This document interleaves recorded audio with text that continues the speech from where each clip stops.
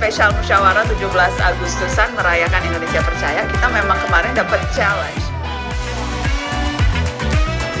Ini dalam transport, kita kan diundang sama narasi